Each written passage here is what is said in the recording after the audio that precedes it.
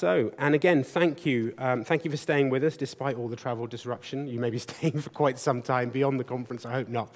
But, um, but thank you. And let's start then our, our um, discussions with the efficiency discussion about enhancing efficiency in cancer care. So I'd like to welcome onto stage our panelists for that. Um, Faisal who's Vice President, International Developed Markets Lead, uh, Pfizer Oncology, Eduardo Pisani, Chief Executive of All.Can International. Eduardo, please, I'll, I'll move aside. We are. Uh, Ajay Aggarwal is, um, this one, it's just, I'll sit there.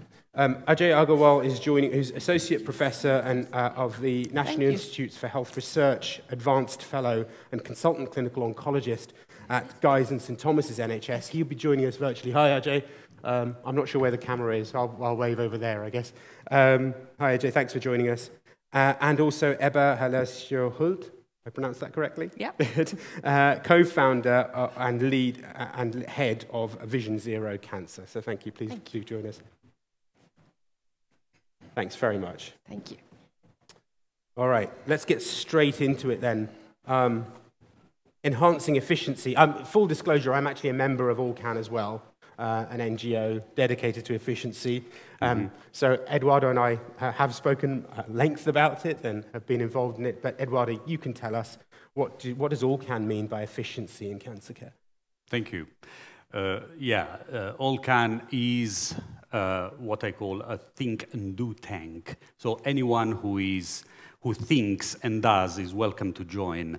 Uh, it uh, obviously focuses in the field um, of uh, cancer care efficiency.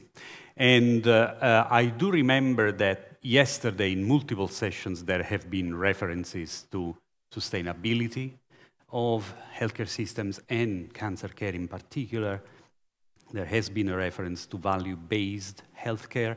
And if you will, the concept of efficiency falls straight into this uh, context and, and, in this debate.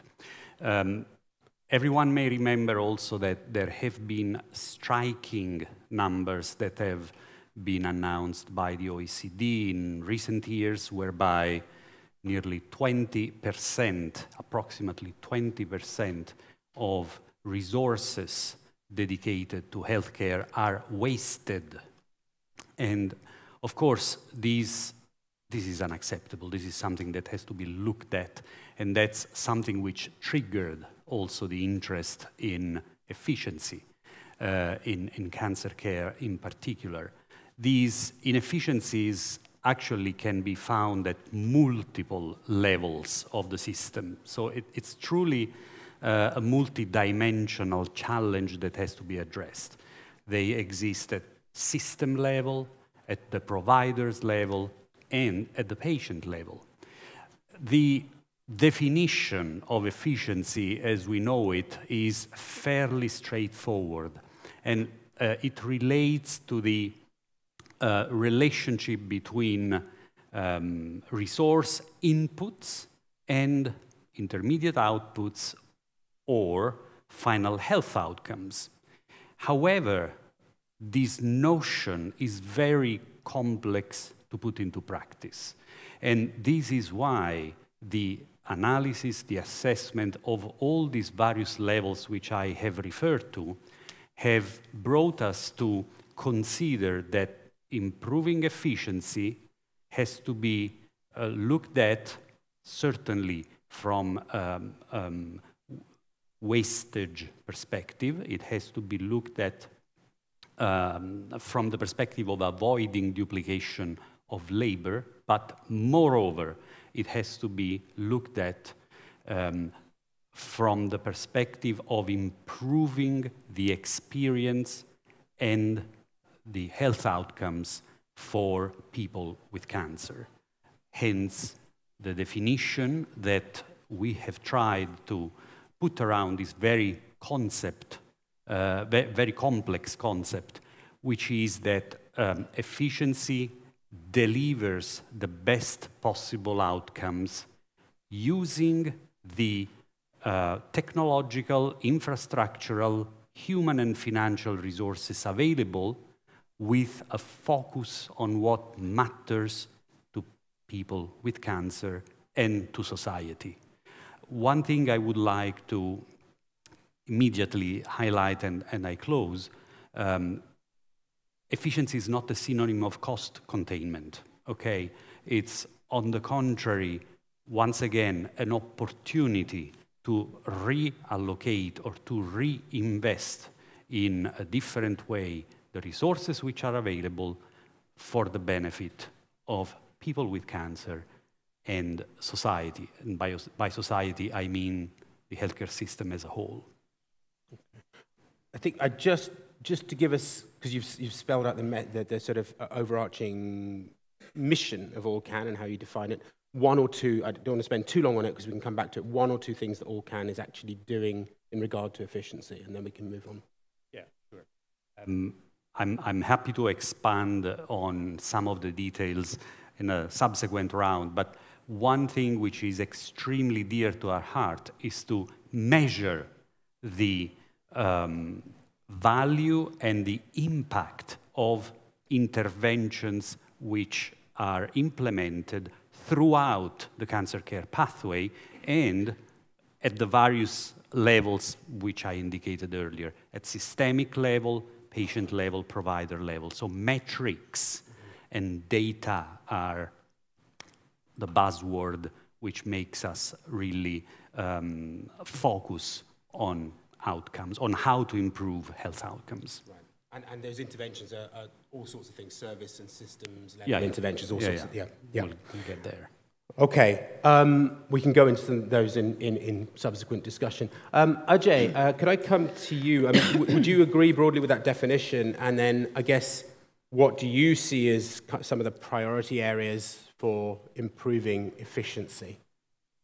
Yeah, no, thanks, Vivek. Hello, everyone, uh, here from London. Uh, so I think first and foremost, I completely agree. And I think actually to start off with good news, I absolutely think as we speak now, we could be reducing the cost base for what we're the treatments that we're delivering and the care we're delivering and also improving quality. But I think we need a paradigm shift in how we think of cancer care and see it as a systems issue.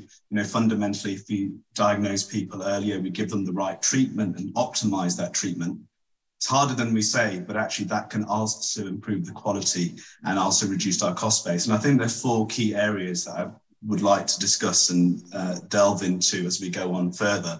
But I think the first and foremost is performance. Second would be research. Third is the design of the health system. And fourth of all is the use of value frameworks. Just to give a bit more context with regards to performance, I think we lack an adequate performance culture for radiotherapy, systemic therapy, and surgery. Uh, in the UK, what we've implemented is an outcomes reporting program at the hospital where patients, clinicians, policymakers can actually see what the outcomes of radiotherapy care is for prostate cancer, systemic therapy for bowel cancer, and see that variation. What's interesting actually when you delve deeper is that the difference between the best and worst performance isn't actually technology, it's actually quality assurance. And this is something that the profession has to get a grip on, benchmarking, etc. Surgeons have been doing this since the early 90s, cardiac surgery, etc. But in cancer care, we're just at the cusp and we need to improve that because you can go from 20% toxicity rate to others having a 2% toxicity rate. That's a massive difference and it's the same cost base. People not getting admitted, people not needing those extra interventions and having better quality and reducing the cost of the health system. Second element, research. 50% of our research is focused on biotech, genetics, systemic therapies, biomarkers. Only 3% is on implementation science and health service research, and about 5% is on early diagnosis and screening. I don't believe if we didn't adjust those percentages that we wouldn't have any improvements. Implementation science, for instance, only 50% of the technology that we actually develop actually gets to patients, and that's technology that works. We have huge inequities, and we're still diagnosing people at too late a stage.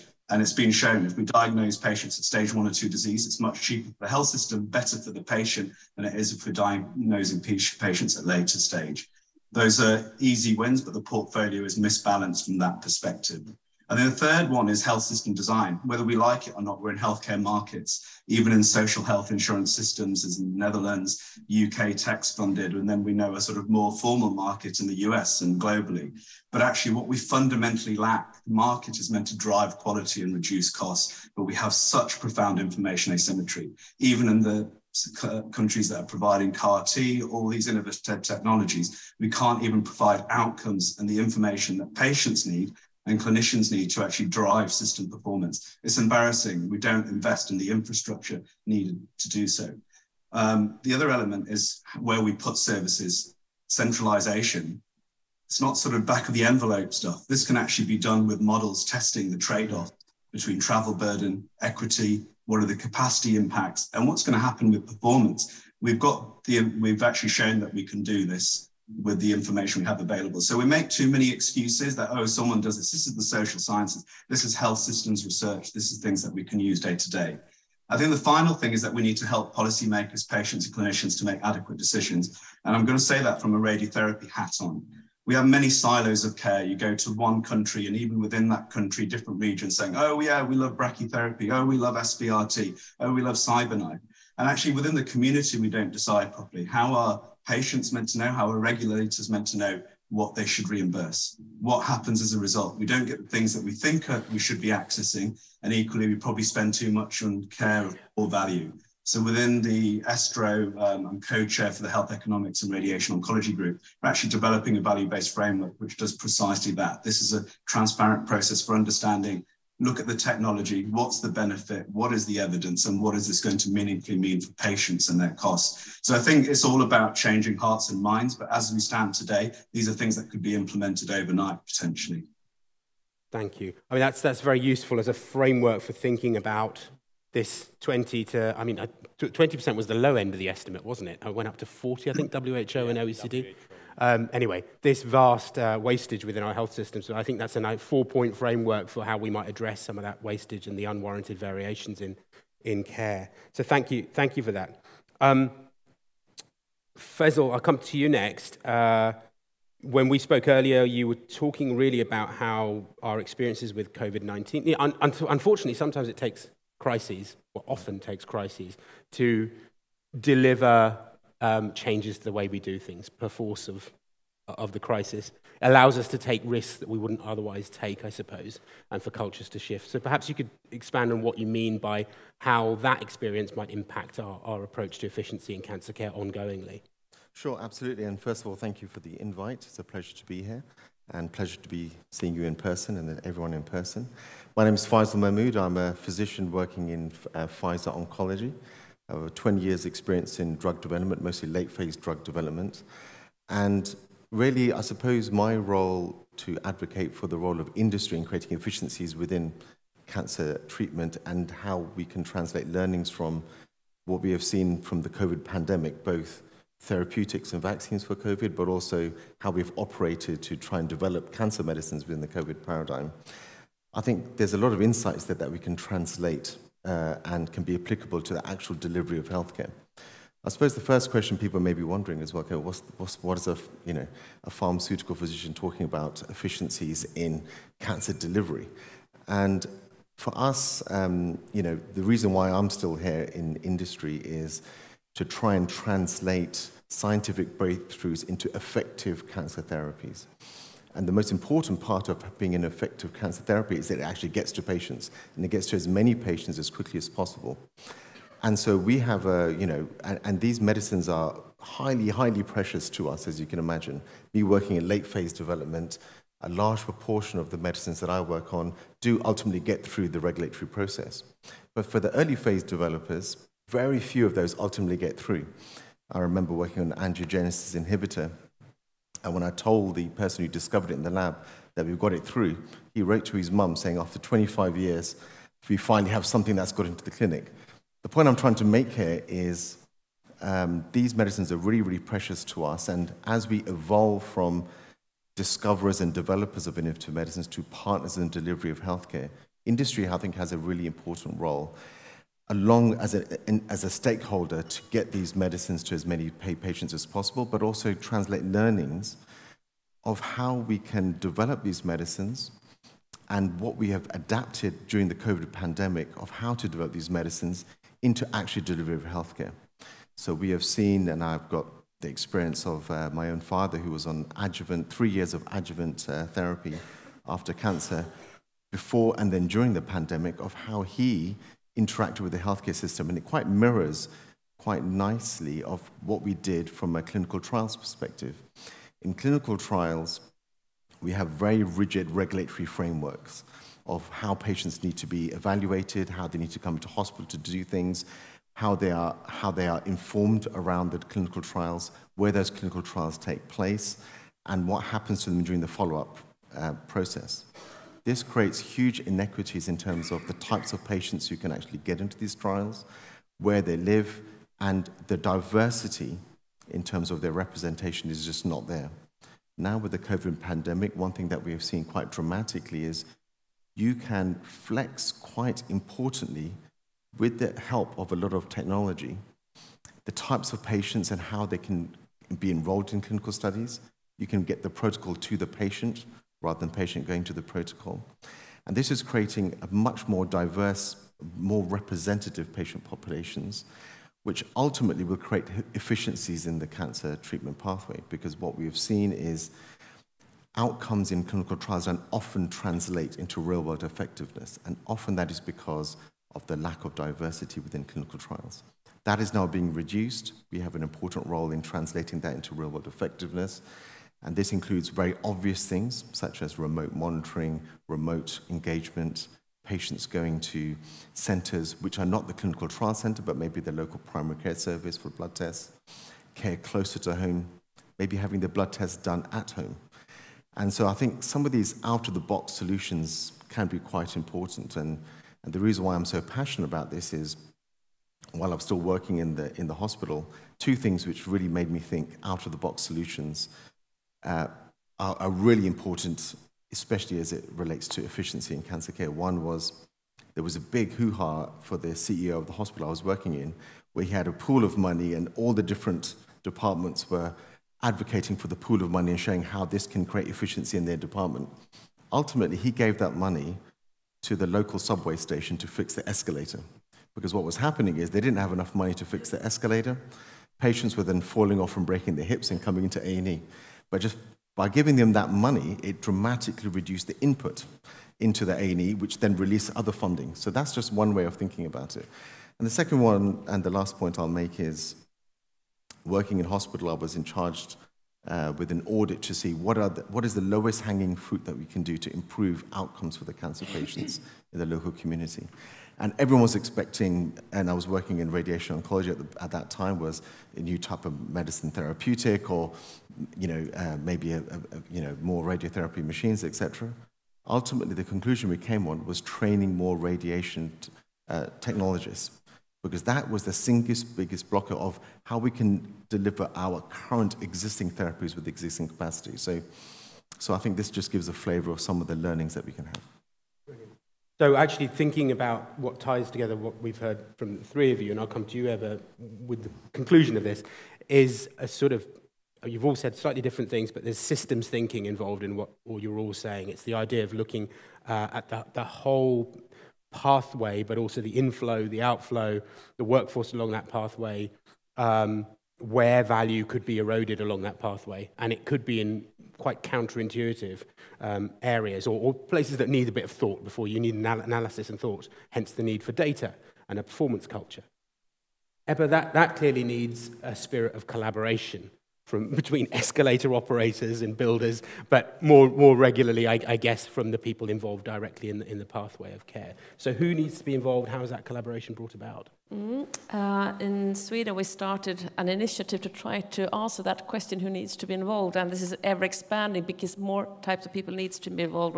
Uh, so. Um, we, we all talk about this, as I said, the importance of collaboration and aligning around the common goal and setting a roadmap together and create the governance structure around the patient at the center, the citizen at the center, or the end user, but then, of course, aligning it with the healthcare, all the stakeholders of the healthcare systems, of course, the, the healthcare uh, professionals, uh, uh, the researchers or the academia, of course, the life science industry, and other colliding industries or conjunction industries, and also, of course, the regulators and the payers. You need to find new ways of, of co-designing and deciding on what, what system do we want to have. Where are the different hurdles or blockers? They can vary from one um, country or health system or regional, national to another, of course, but somehow redesigning th those pathways together. So uh, I think now we have a great momentum, of course, to deliver on the Europe's Beating Cancer Plan through cancer mission hubs that we are about to create. Some have already done it, others are doing it. And we created a prototype for that now in Sweden. So working with mission-oriented principles, learning a lot uh, in collaboration between the different stakeholders, all bringing their knowledges and perspectives to the table. And from there also deciding on what has to be done.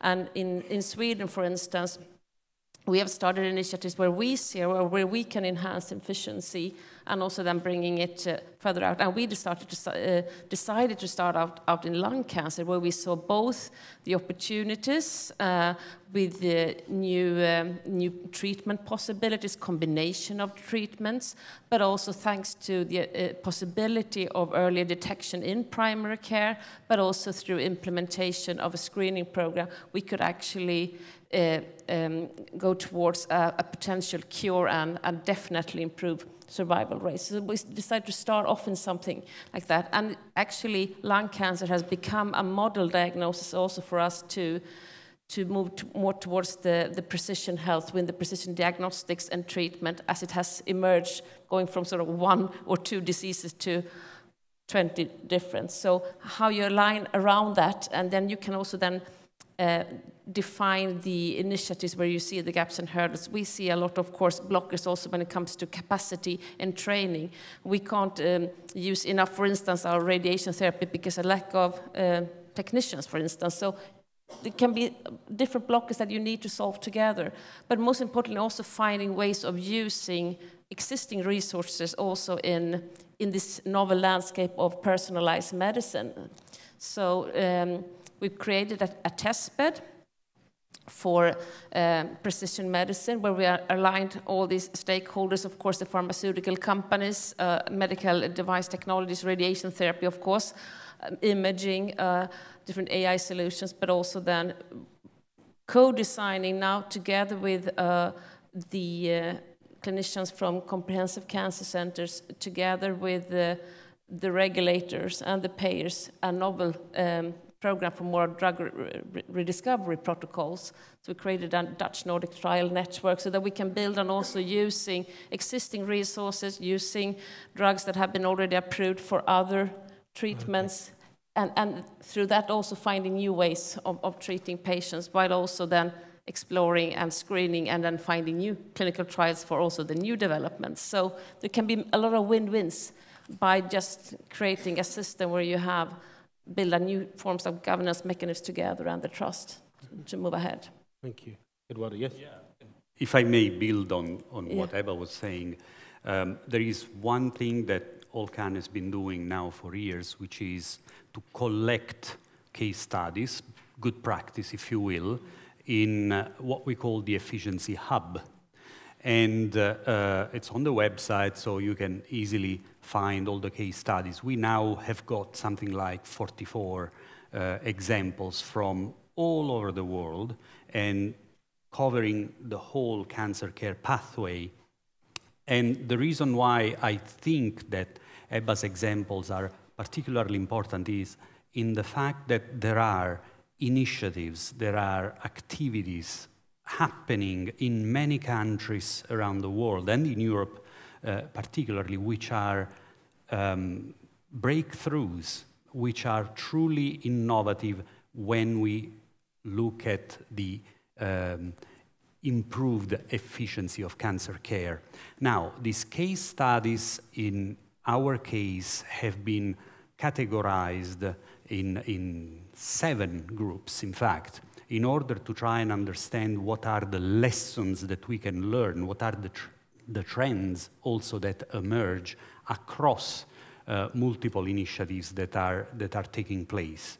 And in, just to give a few examples of these seven categories that have been identified through the analysis, one has got to do with uh, reduced uh, um, diagnosis delays. This is a fundamental area for further improvement and engagement.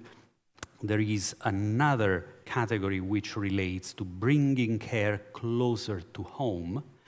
And the third, which I would like to use as an example, is what is now commonly known as a cancer care navigator, uh, which helps patients understand how to navigate their uh, care pathway um, and also receive as appropriate multidisciplinary uh, medical support.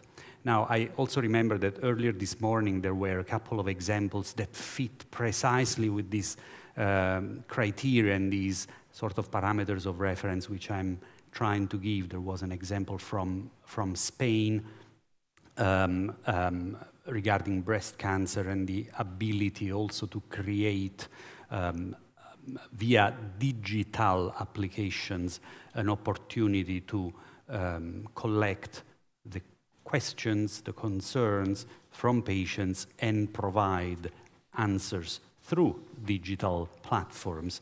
Another example from Belgium, if I remember correctly, regarding a tumor board, and the tumor board, which also is a digital platform that brings closer to the people with cancer or their families certain information, certain um, guidance as well on how best to navigate uh, their, uh, their care. Um, and, and, they're not always high tech in, in, in, uh, exactly. Innovations. Exactly, exactly. I keep going on about, which is innovation has to be thought of as a broad concept. Yes, yes, exactly. Ebba, you want to say something? Oh, please prepare your questions while I, yeah, yeah, we'll come to Mark, but Ebba. I just want to say also that innovation is so much also about innovating the ways we work and the, uh, introducing new working principles, and not only thinking of of the, the technologies. And I think one of the greatest challenges that we have, I think, in, in every country now is staff shortage and also staff burnout. We need to find ways to cope with that so that it's possible to, for the uh, healthcare professionals to have a meaningful work with, mm. with meaningful outcomes for their patients, but also having the right and the authorities in doing, while also making sure that we have efficient guidelines and processes, and of course, working with mm. Harnessing everything that enables the system to move forward, but also being able to, to retain and make it attractive mm. to work in healthcare. And also new professions needed for uh, to, to cope with all the, the different possibilities that we have now. Mm. Ajay, I'm aware you're at a disadvantage because I can't read your body language so easily. So if you want to chip in, stick your hand. Yeah, that's it. Thank you. All right. Um, Mark, straight away give AJ a chance to uh, come in. Hi, AJ. Um, no, just Hi. what AJ says is absolutely right in relation to implementation. We're not very good at doing implementation. We don't invest in implementation, and we need to because otherwise, all the breakthroughs that we have are not going to actually go to follow through and actually deliver for our patients. Um, just I'm going to do a plug here as well. Next week, we're going to launch the Lancet Oncology European Groundshot Commission on Cancer Research. And two of the areas that we're focusing on that need much more attention are implementation science and health services research. Um, but AJ, I think particularly in radiotherapy, uh, one of the things you highlighted there is really important. I, I, suppose I'd be interested in hearing what your thoughts on on how radiotherapy can show the way for other disciplines going forward. Yeah, um, Thank you. I think threefold really. Uh, one, we, we've always just thought of it, oh, well, we, you know, we, we get the recipe from a trial and we deliver that recipe and that will be all that matters. But we've seen across the NHS 55 centres that that same recipe, so no one was doing anything wrong, results in a differential of 2% severe GI toxicity to 25% when you do the benchmarking, what you realize the centers doing the best performance weren't actually integrating any new technology. It was 101 quality assurance. It's that determination to always push the boundary for improving quality, reducing margins, using better imaging, etc. So I think first and foremost, within radiation oncology just proves it's not just about surgery. Radiation oncology, we've done similar for systemic therapy. I think second of all, the way we could lead the way is about in implementation, you can do implementation trials. What's the big watchword at the moment? AI, auto contouring. We don't need radiation oncologists. We can just automate it with computer algorithms. I'm hopeful However, we also need to test it. We need to test it in different countries, in different contexts with planning systems, workforce, and we need to see if it translates into cost effectiveness. So I'm chief investigator of the Archery study, which is a global study of AI in three tumor types, head and neck, cancer and prostate. And that's uh, going to start recruiting from February, but purely to see, is it cost effective? Does it save people's time? Is it actually implementable as opposed to this is wonderful, we need to start using it now? Um, and I think the third of all is actually, I think within our communities, and we do work within communities. I'm a clinical oncologist, so I give systemic therapy as well, but I can see how it's us against them, and we don't think of it as a comprehensive cancer service. But I think within our own communities, medical oncology, radiation oncology, um, and surgical oncology, we need to understand how can we deliver better value. Let's be honest, if something's not particularly good or deliver value, we have to do so. But there's a lot of branding and reputation. And we need to start with first principles with the patients in mind and move forwards in terms of integrating that technology in a sustainable way. Any further, any other questions on the floor? Oh, yes, gentleman here.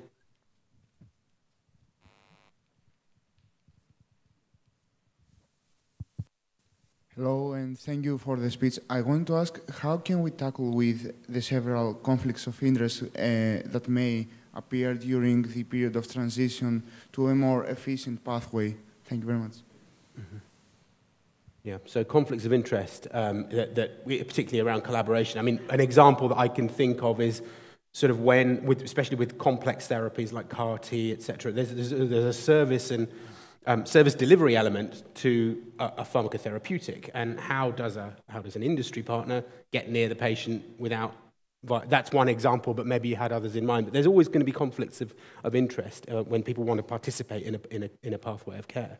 No, absolutely. Um, but I think now we're in a, in a world where there's so much transparency in data and outcomes. Uh, you're not making false promises and you're not making a false intervention. Whatever intervention, be it a surgical intervention, a radiotherapy intervention, a medicine intervention, more and more we're being asked, particularly in national payer systems, to prove the outcomes that, that you, we are getting and to show the capacity building that needs to be done in order to put that input mm. in. The granularity in terms of medicines optimizations, etc., is there that sometimes we do pay for performance for a lot of these, and not in very crude measures, but in quite specific measures, including, I think, in the not too distant future at the community level uh, at the national level, how we can, how your therapeutic can improve the overall, you know, community outcome of, interest. Um, so a decade ago, 20 years ago, it was much more difficult. These conflicts of interest, it was much more around trust, but now it's trust and verify, and I think mm-hmm. um, that's where we're going.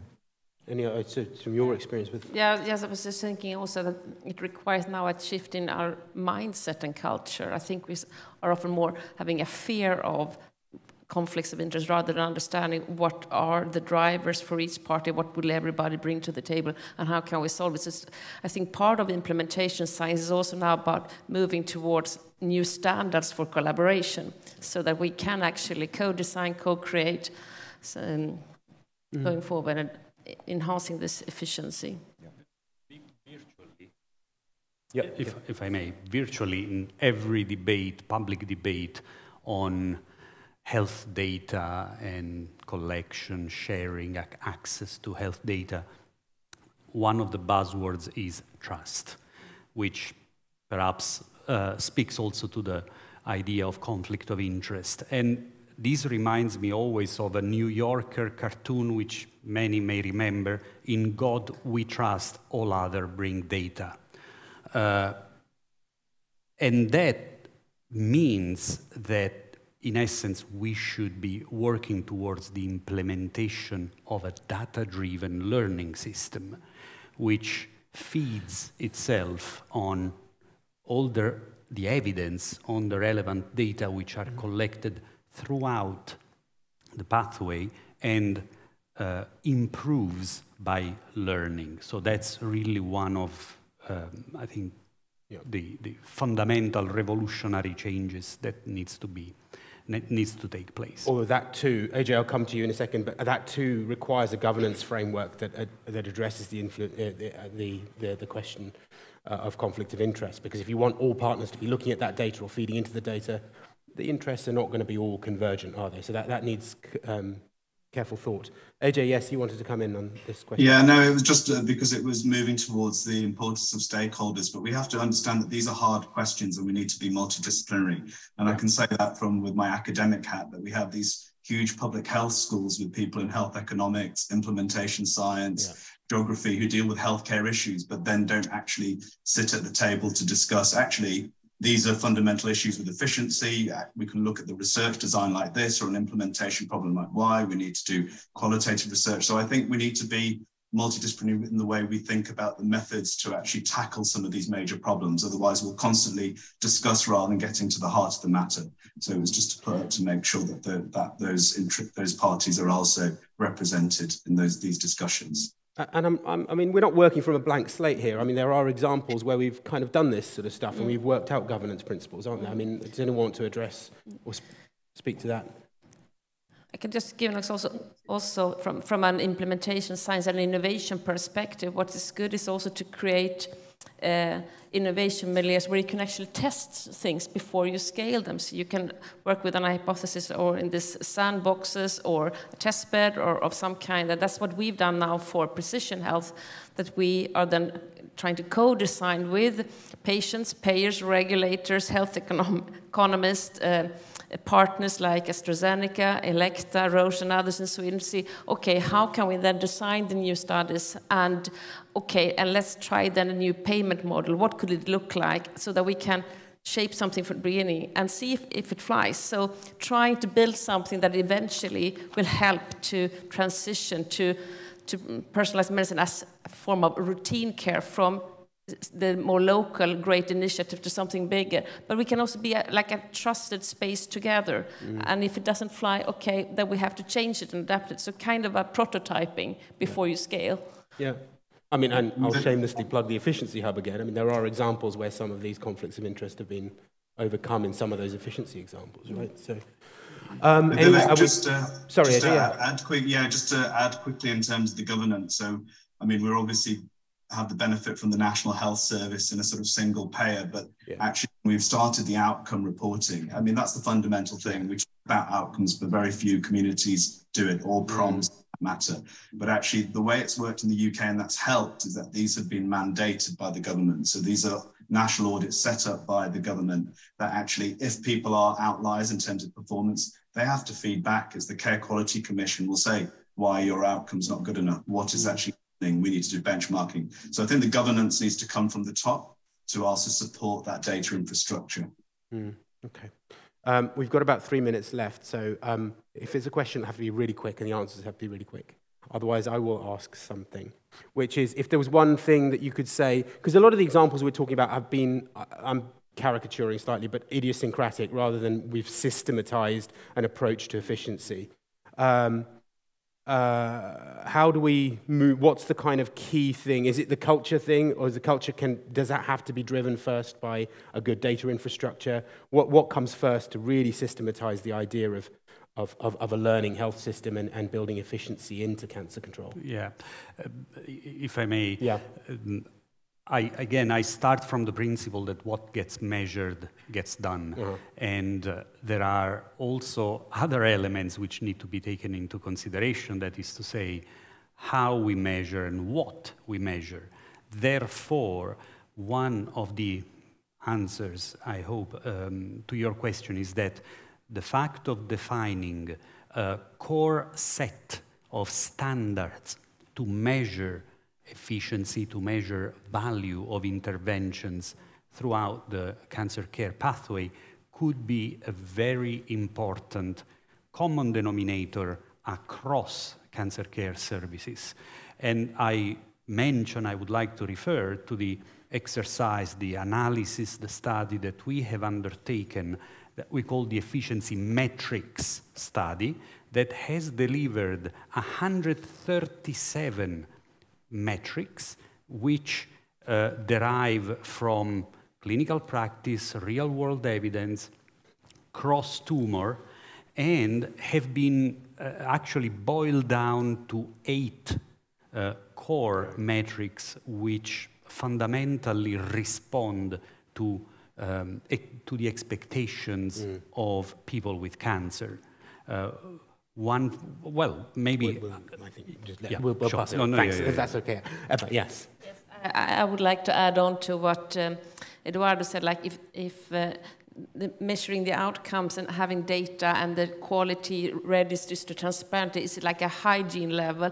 On that, you build a new type of leadership and organization so that you can move bottom up and top down to actually uh, enhance uh, efficiency and, in, and improve the learning healthcare system. Uh, for me, it's patient activation. Uh, my passion within drug development is patient-centric drug development, genuinely getting patient insights and educating patients in a precision way that they become activators so they can navigate the health system, they can understand yeah. what to look out for from a side effect perspective. All patients are different um, uh, within a, a, community, but also diversity in that clinical trials is really, really important. And if we can activate patients, that will help solve a lot of these efficiency problems in our view. AJ, last word to you. Yeah, no, I agree with all the points. I think what I would sum it up is you don't know what you don't know. And we have to learn better that actually efficiency is an issue. It's something that can be investigated and we can implement solutions. And all everything we've talked about, there are papers to look at and review, but actually we need to educate the community and it starts across the board. And I think then we can start to actually target these areas much more efficiently. Okay, fabulous. Look, thank you so much. It was far too short a time for a far too large a topic, but hopefully we've made progress on it and we'll be revisiting it in future sessions. So yes. thank you very much indeed. That's fab. Thank Great. You. Thank you. Thank you. Thank, thank you. Thank you.